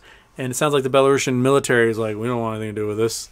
You're on your own, man. Which is a big step uh, away from Lukashenko's orders, where before he could get the Belarusian military do such stuff to the pub- the public that lives in Belarus. So if they are now like trying to distance themselves, uh, there might be an opening to um, take Lukashenko, Lukashenko out. oh, Eggspit wrote it earlier in the chat. Oh, okay, great, great. I have to go back and find some Eggspit stuff earlier in the chat. Okay, Eggspit, metamaterial. Hopefully it didn't disappear when I when the chat reset and I can find it. Xbit, Xbit, Xbit, Xbit, Xbit, Xbit, Xbit. Uh, I'm not seeing it as I scroll. And I'm almost back to the top. And it's gone now. So if Xbit, you want to type it in there again, I'll look for it. Sorry, man. I didn't realize it was in the chat. I have no idea where, what, how, when, why. Uh, okay, here we go. All right. We are at this point in the chat. Zachary Delia says, I always think $70 is the magic number they would drop it to before MOASS. Who knows? Good gut feeling as any. Um, after hours, it didn't really seem like it's doing much. It's kind of sitting at that 79 range, right? Still there? It is. We can scroll. Yeah, 79.92. Still kind of sit in the same same realm right now.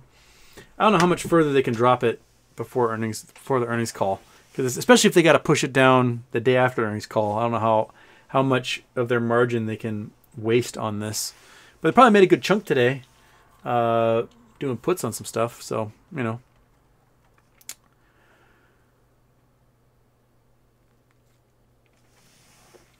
Uh, SK, what do you think about the YouTubers like uh, Review Dork and Matt Kohrs selling out of their AMC positions while telling the rest of us to hold and not to set stop losses? I had not heard that. I have no idea. So that's the first I hear of it. Um,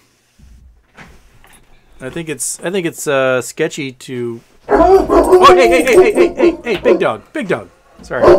Big dog. Big dog. Big dog. Big dog. What the heck? Came out and saw me. That's, that's, that's Tricky. You know that Ding Dong. You know him. You saw him like an hour ago. Yeah, he woke you up and it scared you. Alright. Sorry. Big dog, this is not your house to protect, dummy. This is not your protection home. Just go back to sleep. uh, trying to eat the roommates. Yeah. Chill out, baby. Take a nap. Take a nap. It's okay. You can take naps. What were we talking about? Uh, before Big Dog freaked out, it was oh, uh, people selling out and telling others not to sell. That you know,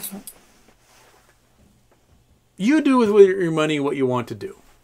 Uh, but if I change holdings, I'm gonna let you know. Right? I don't have much AMC, so I am way more invested in GME and other things than AMC play. Uh, but you know, I'm not big on it. I don't. I don't. I don't think it was what it was back in June. I think it could have been the trigger back in June for sure. But uh, it it it. But the board w- wouldn't let that happen. Uh, they probably don't want like have to see their buddies at the golf course and be like, "Sorry about that, man. We just had to obliterate your hedge fund. No hard feelings." Um, so I think I think that's kind of where they were. Uh, but yeah, it, you know, I think people should be open honest about what they do and what they promote. Uh, I've been getting these like, what is the name of it? T something something something. Sorry, one sec. I, these guys have been like hounding me to do promos for them as a sponsor. I can't remember the name of them. Where are you? Where are you? Uh, when was the last time you messaged me? Um, TSX or something like that? TRX. So there's some thing called TRX. They have a crypto coin. They have some sort of like mining network, and they really, really, really want me to do like promos for them.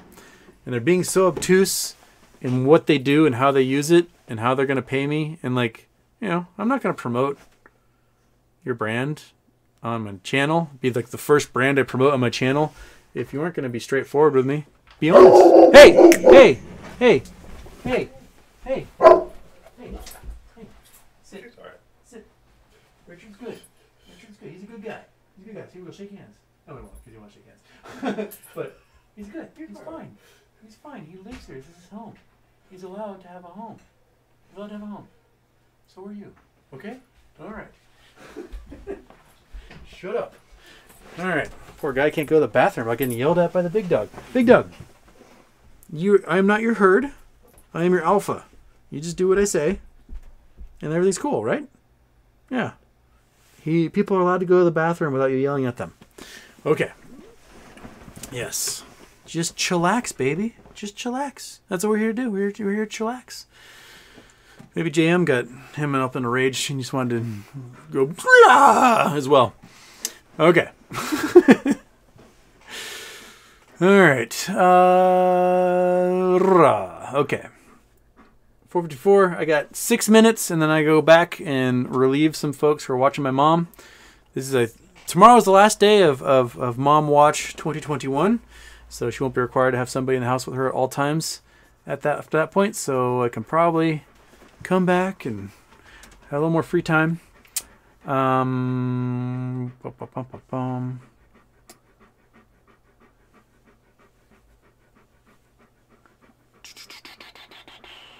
Oh, okay. Bob Norwood. Xbit wrote earlier in chat that uh, 46.5 pound had been credited to his MMTLP shares in his HL account. He said uh, he sent an email to HL and was waiting for a reply. Huh. Not heard about any of that. I've got my MMTLP in Fidelity. Um, might because it's a foreign account, something squishy's going on there. No, I still have all my MMTLP and my Fidelity. Uh, down to a buck sixty. I mean, it'd be nice if if if that weird graphic turns out to, uh, you know, be able to net me a hundred grand off of these things. That'd be fantastic. I, I, it's very optimistic that it would be that high of a dividend, but man, it'd be great if it was. I don't think it will be. I think I think you know, twenty to forty range is good. I think that's probably pretty doable. Beyond that would be fantastic, but I just don't see how it happens. Okay. Boomers know how to hodl. oh, that's a good name. I like that. Okay.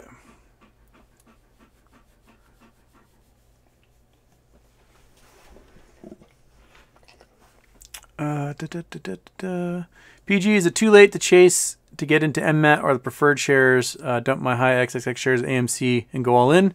Is AMC going to moon higher? Not looking for financial advice. Uh, oh man, I I think AMC shares can definitely go higher, but will it happen sooner than MMAT would offer a dividend? That's the question. Now, you know, I've got I've got my holdings of GME and AMC, and if if MOASS happens the way it should happen, that will hopefully be enough that I can retire on that. Bing. But I am counting on the M metamaterial torchlight preferred share dividend to be offered hopefully sooner. I get a bunch of cash from that. Three months after a dividend's issued, metamaterial squeezes because of the failure, to delivers on the PILs, and forced buying happens on metamaterials to make up for it. So I have options that go on that, and that gets me a boatload. And if it, if all that happens before uh, MOAS, then I can take that stuff and I can dump it into MOS, into GME. And that's where I'm playing. And then I go from like retirement amount of GameStop to just a ridiculous, uh, fantastic fortune of it. Um, that's where that's that's where I'm playing. And so, uh, you know, if if the metamaterial gets me twenty grand plus for uh, the sorry the torchlight preferred share gets me twenty grand plus, that's enough to get a thousand plus options on metamaterial which if it does squeeze in the next year could net me you know millions which is enough also enough for retirement. So yay. Uh i just want to retire man. That's that's it. That's i want i want to be able to take that dog for like 30 mile walks every day in really nice weather what do you think does that sound good to you i think it sounds good to you this loud thing can come along every once in a while, at least for the next few months, right? And then it goes back to your house that has a really, really nice view at your house. What are you doing here without our view, your nice view? Um, but yeah, okay. All right, oh crap, we're there. We're going to scroll down to the bottom here. Uh, and get the last couple of questions, and I got a jet to go onto Mom Watch. Uh, boom. Ricky Bobby, it makes no sense. Why would a company care about helping their buddies out that try to short them into that Silent Nights BS theory? Here's the thing: is that those guys, their buddies, are who put them in their job. Short hedge funds. Read, read Anatomy of a Short Attack from 2014. Short hedge funds will get enough shares while they're shorting the crap out of a company so they can put their fixers in on the board. There's a reason why the head of marketing for AMC was the head of marketing for Radio Shack the head of marketing for Blockbuster, and the head of marketing for Washington Mutual. Those three companies don't exist anymore for a reason because the head of marketing for AMC, his job was to help obliterate those companies. That's the entire reason they have that role.